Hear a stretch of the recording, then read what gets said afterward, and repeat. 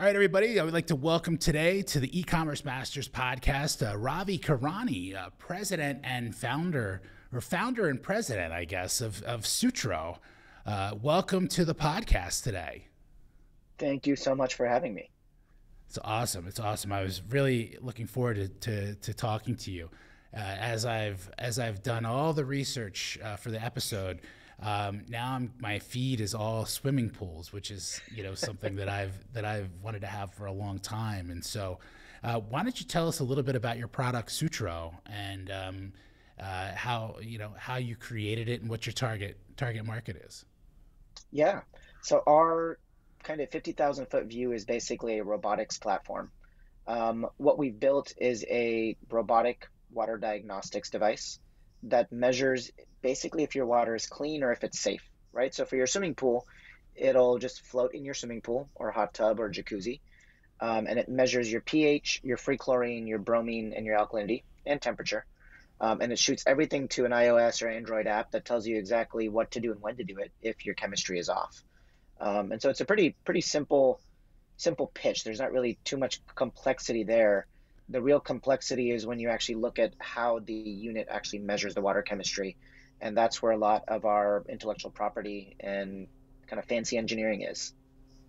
Oh that's cool that's cool. Um, how did what what what like who is the target market for your product? Is it anybody with a swimming pool? Yeah actually it is. It's it's your your regular homeowner living in you know california texas arizona uh, wherever it's hot and also in the you know northeastern states. Yeah. Um, if you have a swimming pool, if you have a swimming pool, a hot tub in your backyard, um, you are our customer. We are also breaking into the commercial market. So the YMCA's, the Hyatts, the Hiltons, um, Bellagio Hotel, right? We want to get to all those as well. Um, but we're currently not there yet because you need um, an NSF certification to actually unlock that. But um, definitely on our roadmap. Oh, that's cool. That's cool. So by using your product, you're kind of getting rid of the like the shake, the uh, you know the the the tester shake that you you, you fill up and you put the drops in and and and, and it kind of gives you all that and, and more i assume in terms of of diagnostics about that right? Yeah exactly. And so that's kind of one part of the problem right? Taking the water putting those little drops inside there shaking it up. You're like you know ask your wife or husband hey is that is that a dark red or a light red? Right? Nobody really knows what color it is. They're like well i think it's an 8.2 i think it's a 7.8 so that's kind of the first problem is actually figuring out what the water chemistry is.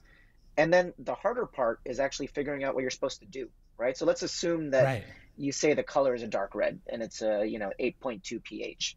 Now you need to pull out your little booklet. They have these little booklets in the test kit right? You have to scroll down. You're like i have 20000 gallons and it's an 8.2 so I have, you're doing all this math. And so everything basically gets calculated there and there's a simple what to do on the application because it's pre-calculated yeah. in how many gallons you have, what the weather is, um, all of that stuff. Oh, that's so cool. Like, can I just share one of my guilty pleasures with you? There's yeah, this sure. guy on, on Instagram and TikTok, the pool guy. I think he's out of the UK. And he goes and does the dirtiest pools. And, you know, and um, like that to me, I don't know why it is so interesting to me to see how bad these pools are and then they clean them up miraculously and get the chemicals right and the pH right, and they vacuum them and do and do all the things. And so, you know, I I have always wanted to have a swimming pool, but my wife says it's you know.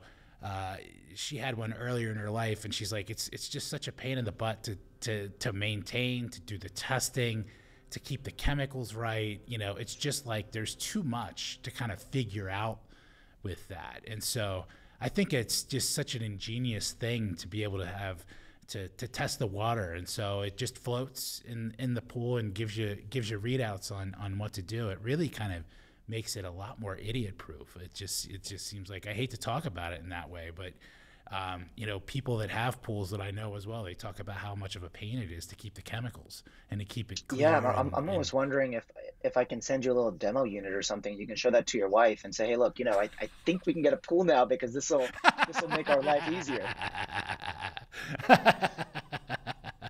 yeah, you're gonna send me your free a free demo and make me spend hundred k to get a get a yeah, get a swimming you know a swimming pool. That's great. That's great. No, but it really is, I think, a, a super cool product, and it's something that.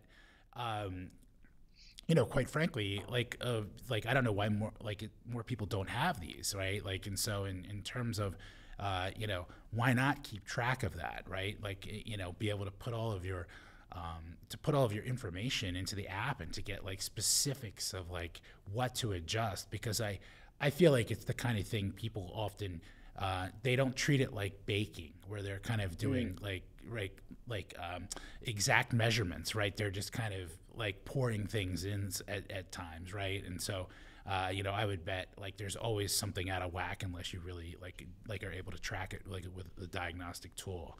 How did how did you create the product yeah, kind of two tangential stories. So the first is I actually grew up as a pool boy. My okay. dad used to have a chain of pool and spa supply stores in in Southern California.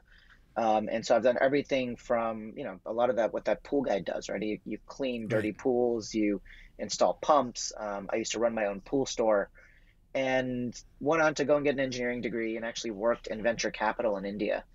And the second part of the story is working in this VC fund, we got a lot of water related deals on our table, right? Water is a big mm-hmm. problem in India. And a lot of the deals that we saw were around water filtration, but nobody was actually focusing on water sensing. And you kind of have to know what's wrong with the water before you fix the water. And so I started looking at the sensing market. And we saw that either there's these test strips that are prone with error, right? Back to the dark red versus bright light red. Mm-hmm. And you know, mind you, water is the largest killer in the in the world, right? Diarrhea and dysentery through water as a vector is, yeah. is one of the largest killers. And the other side of the spectrum had these really expensive 10, 20, 30,000 dollar devices that obviously somebody earning less than $2 a day couldn't afford. Um, and so we basically set out to figure out how can we build a diagnostic sensor that has the accuracy of those really expensive sensors but has the kind of you know like you said the kind of idiot factor to be able to get information to the user so they can actually act upon it. Um, and that's where we first came up with sutro. Uh, i tried selling it to the indian government and probably the stupidest thing a startup can do. They're riddled with red tape and it just we would have probably yeah. died on the vine while we tried pitching them. And so i uh, put my pool boy shorts back on and flipped the entire model around. And we said why don't we sell to wealthy pool owners sell it at a margin, at a higher margin, and use that money to basically redeploy into the product so we can then go into these more altruistic markets later, like food and beverage, like drinking water, um, the more industrial markets. And so uh, that's kind of what set us off back in 2015. That's pretty cool. That's a neat journey. I mean, and and um, you know, it's it's it's you know, it's just and I and I don't mean idiot proof like in that way, but it's like people want to be told what to do, right? They yeah. want like, hey, what am I supposed to do here, right? And and and I think it's um, you know whether it's for drinking water or whether it's for pool water, I think that there is a um, you know a common desire to like you know hey how do I how do I deal with this um, kind of thing, and so. Um, you know, people go away on vacation and they come back and you know go away for two weeks and they come back and their pool's green already. And so, you know, I think that there's um, uh, being able to keep that in check and, and to be able to understand, hey, what exactly do I need to do here to move to get back to using the pool um, is great. What's the so what's the price? What's your current price point on the product? We sell the product for four ninety nine uh, for the actual robot that floats in your swimming pool. Um, and then monthly, there is a cartridge that's actually filled with the exact same chemicals that you use when you test your water with that, you know, shaking test kit. Mm-hmm. Um, so you know, if you remember that that that red mm-hmm. chemical, mm-hmm. the phenol red measures pH. The you know the, the the two yellow ones measure chlorine, DPD. We take exactly those chemicals from the reagent supplier that actually sell you those reagents, um, and we put them inside of our cartridge. We have two plans. That's a twenty nine or a thirty nine dollar plan, uh, basic or premium, and those kick off as soon as you buy the device, for as long as you're using the pool. So for those folks that are in you know the winter um, where it starts to snow and they close down their pool, they can start and stop the Sutro okay. subscription. Um, so we don't make you pay for it when you're obviously not using it. Right. Oh, cool. Does it is a is does the size of the pool affect uh, you know affect like the the how quickly you go through the cartridges, or is it just kind of a um, a general like uh, you know a one size fits all uh, for folks, whether they want to go with something more basic or more advanced in terms of the diagnostics? Yeah, it's it's more of a kind of diagnostics and and data uh, play that we have on the basic versus premium. The robot itself doesn't change, neither does the cartridge. Um, kind of very similar that the proxy is your test kit, right? You don't buy a bigger test kit or a smaller test kit if you have a larger body, you know, smaller body of water. Um, the same test kit works because you're circulating the water so that that molecule that's in the pump will eventually make its way into the into the actual pool and vice versa um, so that's why you don't really have to worry about getting different robots. It's actually the app and the data that's going to be a little bit different between basic and premium. Oh cool cool cool. Um, how do you i know you have a shopify store. How are you currently selling your product? Are you you know available through retail channels? Is it all direct to consumer? What's kind of the the general journey to find you? Yeah, we're about 95% direct to consumer um, through our online channel, through the Shopify store. Um, primarily use, you know, your typical uh, paid marketing channels like Google and Facebook. Mm-hmm. Um, and now we're creeping in with a little bit more TikTok, and we also have an Amazon store as well. Um, we are looking at actually getting into distribution and retail uh, this year and, and, and beginning into next year. We're actually in the midst of working on a web based product that lives at the pool store, right? So if you're familiar with this behavior, people will take the sample of their pool water to a Leslie's pool supply or you know mm-hmm. your neighborhood your neighborhood mom and pop pool shop. Um, and so what will be sitting there in the future, right? What we're building is this web software that you can give them that bottle of water. They'll test your full parameters, and that basically gets paired with your Sutro reading that's floating inside your swimming pool. So now you kind of get full visibility of your limited parameters. That's kind of your heartbeat of the Sutro that's floating in your pool, monitoring your water chemistry. And then you can get the kind of full checkup when you go into a pool store using our software. Um, the reason I say that software is because that's actually helping us get into retail um, to both get eyes on top of the software as well as actually sell the Sutro device as well. Um, and so that's kind of what we're working on in 2024 25. That's cool. That's cool. Um, yeah, it's a, it, you know I think that that's a really neat strategy of kind of have you know have both both channels working for you in terms of uh, um, you know something even more advanced at the at the retail level.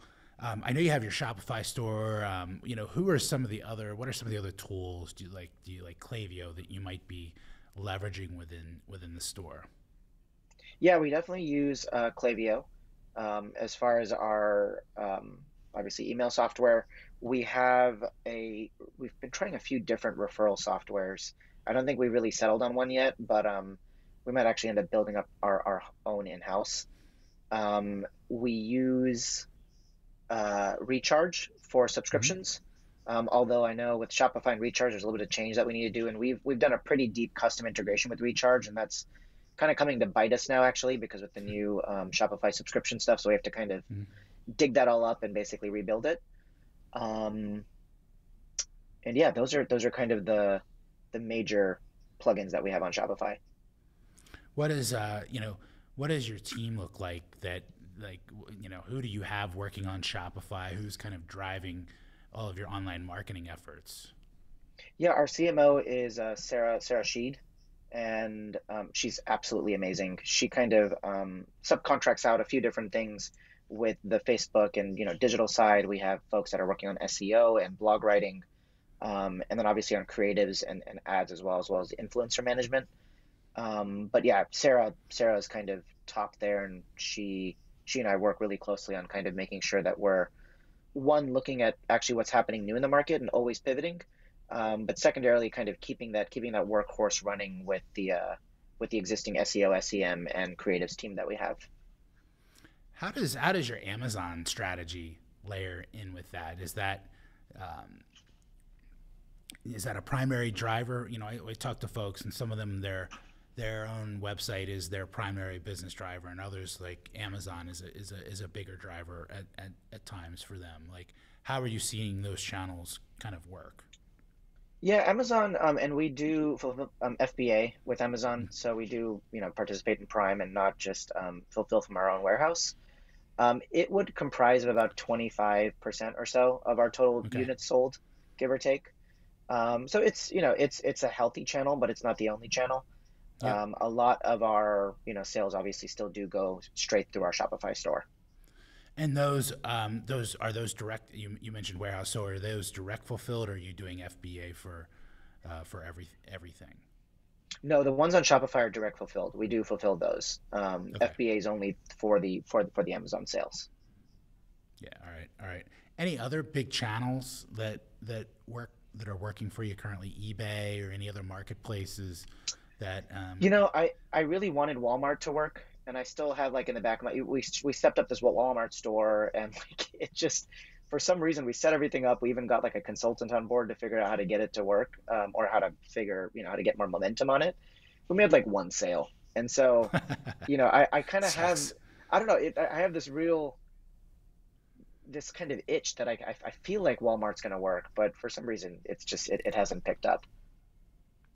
That's fair. It's a Walmart's a very interesting marketplace and channel, right? And and, and um, um, you know, it's uh, in, some ways your product might be, as you mentioned, kind of your target market of pool owners that that might be above, you know, uh, Walmart in some ways in terms of where their focus is, but it's kind of a little all over the place in terms of what can be successful there. Yeah. Um, and I, you know, I, I would kind of add to, in terms of distribution, we are also looking at like OEMs as well, right? So people that sell you the the equipment for your swimming pool, something like that, we can um, pair and partner with them so that they can actually bundle a Sutro. Uh, we're working on a on a unit that goes in pipe, so it's not floating, um, which would be valuable for those folks that sell pumps and filters. Um, and then the second is actually big box retailers, right? So looking at Home Depot, um, Lowe's, they have huge home and garden centers and so trying to figure out how to also kind of um, get into the home improvement world as well because we we kind of directly parlay with that target market yeah absolutely absolutely i mean those those seem to me like they could be interesting channels for for growth especially you know big box like you know home depot lowes uh, best buy you know like there's often even myself personally i'll, I'll see an, an item online and um, uh, look for it and it'll be available at my local Best Buy. And I'm like, you know what? I'm just going to go over and pick it up now. Um, yeah. Know, it's 10 minutes away. And so, um, you know, there's a lot of opportunity with that. I also think in, uh, uh, you know, a solution that's kind of in line in the pipe, like that would be very interesting, you know, as, as well too, right? It just, um, becomes just a part of your, your pool's DNA, so to speak. Um, you know, yeah. And, and, and, the floating is really good from a from a deployment standpoint, right? It's very easy to install because you drop the thing in. Um, but I think people, when they're in their pools, obviously don't you know want something floating around as well. And so I think it really does open up an entire opportunity around the in pipe inline version as well. Totally. How I mean, it, you know, I'm always intrigued by people that that, that create things, especially devices, right? I mean, to me like IoT devices are like like it's like how do you get from idea and concept to a completed product? How long did that take you to kind of get from hey, I want to start testing water to hey, I've got the prototype of this device that can uh, float in a pool and kind of give me all these diagnostics? A, a ton of blood, sweat, and tears. I mean, it's like it's it's absolutely, you know, they they don't say hardware's hard for kind of no reason. Um, you're you, you see software companies getting funded, and not only do we have to make a solid piece of software that people can interface with, but there's this entire world of you know hardware. Um, so to kind of answer your question, we started off in 2014, and we had our first working prototypes by 2016 or so. I mean, we, we, we had working concepts very quickly after we had started the company. Obviously, you know, we had the patents and we knew that right. the technology worked. It was just a matter of actually getting it deployed. Um, as I sold the company to to uh, Sanimarc up in Canada, um, is when we really started putting kind of pen to paper, and I spent you know probably thirty percent of my time over the course of the next two years between 2018 and 2020 um, on making sure that the product was you know working we had the right molds made because i mean once you once you make this aluminum mold you're starting to pump plastic right? And that's like you, you, you can't change a line of code on a hard aluminum mold. And so that's you just kind of have to dot all your i's cross all your t's. You have to make sure that none of the water seeps inside there. You know you have electronics floating in the pool. Um, so a lot of things to worry about, but uh, two years is kind of, I guess, the answer to your question of how long did it take before we went to China, started hitting the manufacturing line, and I would say about a year and a half of R and D and development um, just in the lab. Yeah. Wow. Wow. Um, y- you know, it's. Did you have any issues during? Uh, you know, and, and, I'm you know probably trying to get into the under the skirt a little bit in terms of did you have any like major issues or problems during the during that kind of R and D process or manufacture early manufacturing process that caused you to kind of step back and retool? Um, you know, just kind of the mold aspect of things is what you know it really is like like you mentioned it's like once you kind of get in like start going from mold you're like are kind of you can't do it. You've got to keep going with what you have um, yeah. It is kind of like you know I'm, I'm kind of envisioning maslow's hierarchy right you're you're at the you're you're at the bottom and there's the things that you just have to get right and you can't touch once you've stamped them and that what falls underneath that is obviously the initial design right? You want to make sure that because that's what you're going to market with. Um, so industrial design is number one on that Maslow's hierarchy. Um, number two on that bottom rung is plastics, right? When you're making those molds, you have to make sure that they're stamped inside there. Once those are kind of done, you can move up one layer, and I would say electronics kind of fall inside there, right? PCBAs, the actual boards, the electronics boards that we make. Those are a little bit easier to kind of edit and change, but closer to the bottom because once you actually make them, you have to get them certified. Um, and in particular, once the FCC certifies them, you, you can't change them. You kind of, you know, that, that, that train's running. Right. Um, the kind of third chain above the plastics and the electronics is actually the software that lives on the boards, right? We call that firmware. Um, firmware is easier to change. You know, you can you can plug something in just like you do your Apple updates on your iPhones. That's basically what you're doing sometimes um, is kind of firmware updates. And those are easier to change, but if you change them in the wrong way, you can also brick a bunch of devices, right? If you if you right. like change something that doesn't work, you won't be able to interact with it. And then kind of fourth on the hierarchy list is just software. Um, that's overall easy to update. Right? Those things move really quickly. Once you get the right. bottom three correct, I can push app updates, you know, daily if I feel like it. Probably right. not the smartest thing, but you can you can change code with a much less risk than anywhere up and down that um, that kind of Maslow's or hardware hardware hierarchy. Let's call it that. Um, that's kind of the way I would I would define it. And those are the kind of I's and T's you need to cross off in that in that order. Are you continuing to refactor and upgrade the firmware, or is that something that's kind of been pretty shelf stable for you? it's slower moving than the software, but we do change it, and I think it probably changes at a frequency of once every, you know, uh, four to six months, give or take. Um, one from just a risk perspective, we don't want to change firmware that quickly, and secondarily, the board is kind of what the board is, right? We have levers and things that we can change to make the battery life more efficient or to, you know, squeeze out more data from the device, but um, overall, our, our, our V1 kind of 80% of it still lives even in future DNA versions of, uh, of, the, of the firmware. All right.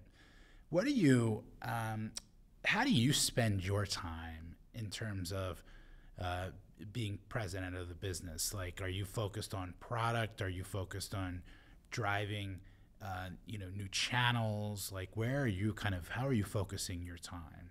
and all of the above and kind of you know everything in the kitchen sink is also an appropriate answer here yeah it's it's it's funny actually because i think i've gone through multiple phases right in building and being a founder that's first raising venture dollars i felt like everything in the kitchen sink was definitely uh, in my job description you know everything from literally cleaning bathrooms to like making sure that the office was vacuumed because we had investors coming um, all the way to kind of filing the patents, right, and working with our patent attorneys and filing corporate documents. Um, once we sold the company, a lot of that, let's say, admin overhead was kind of um, outsourced, right, in a certain sense, to yeah. our parent company. Yeah. Um, so everything from payroll to accounting to kind of HR, a lot of that stuff was gone, and I could kind of focus on deploying and building product, right, which also was my objective when we first sold the company now I would call that kind of you know version three or phase three of Ravi is a bit of bit of kind of like a kind of like a barbell. Um, on one end of the barbell is really really heavy, getting in the weeds of problems that are still not solved yet in the organization. Right. I think we've hired an amazing team that solves kind of everything that we had problems with, but there's always things that pop up. And so whenever there's kind of a helping hand that's needed, I always jump in on that side. And then the other part of the the other side of the barbell or the dumbbell would be like you said, thinking of kind of what the future holds, right? What are we going to do in the next two years, the next five years? Um, working with our parent company's management to figure out if there's any other places we can integrate, right? They sell water sanitation chemicals into multiple different industries. Um, we've built a platform for the swimming pool industry, but is there a way of scaling that into other industries? Um, we have this amazing tool chest of hardware development, sensor development, you know, R&D engineers, software engineers. How do we kind of mold and manipulate what we've built to make sure that it's more applicable for what they're working on? Um, and so that's kind of the uh, second half of kind of what I work on as well. All right, all right.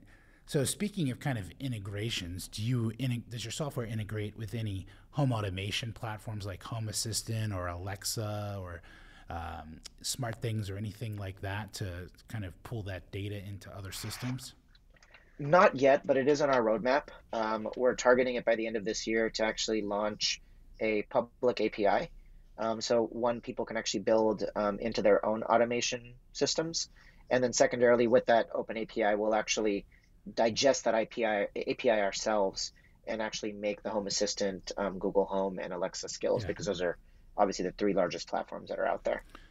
Yeah, I mean, and, and you know, I I have uh, you know my uh, much to the dismay of my wife, I have all of our house kind of automated and, and connected in, and, and you know everything from our light switches to our garage door opener to our um, sprinkler system, and so you know that's an interesting piece like for me of being able to get alerts or um, you know, have those systems kind of interconnected in a way that I can look at it from one place and um, kind of be notified when when I need to do something, um, you know, and and report on that. So um, I'm always personally looking for products that integrate with with those types of systems, just because it uh, I like seeing it all all together, you know. Um, yeah, um, yeah, yeah, definitely. And I think with even more let's call them accessible interfaces, right? With even like Meta's, um, like the Meta Ray Ban glasses, uh, with with voice becoming more prevalent, you know, even things like large language models like ChatGPT and, and, and Anthropic. I think we're going to be massaging and interfacing with data a lot differently than just you know a four by two screen that you have in your hand.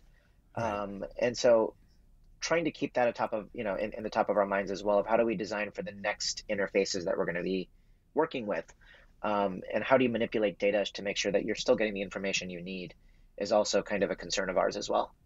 Yeah, yeah, because um, you know I can imagine, um, you know, like a, you know, use case where somebody, uh, you know, may not log into the app and kind of look at it like regularly, or or hey, I want to be notified and um, I want to have that in a place. Like for example, I get notified if my freezer, my garage freezer, like loses power um, while I'm on vacation or something like that, right? Just to being able to, um, like, to, to have that connected. I was in a doctor's office today, and uh, instead of having the little bell to ring for service at the front desk, they actually had an Alexa sit there, and it was like, mm. if no one's here, ask Alexa uh, to to ring the bell, and you know, it rang a, it rang a rang a bell throughout the business. So it's it's you know it's always intriguing to me how people are evolving their products and figure out how how to connect them together.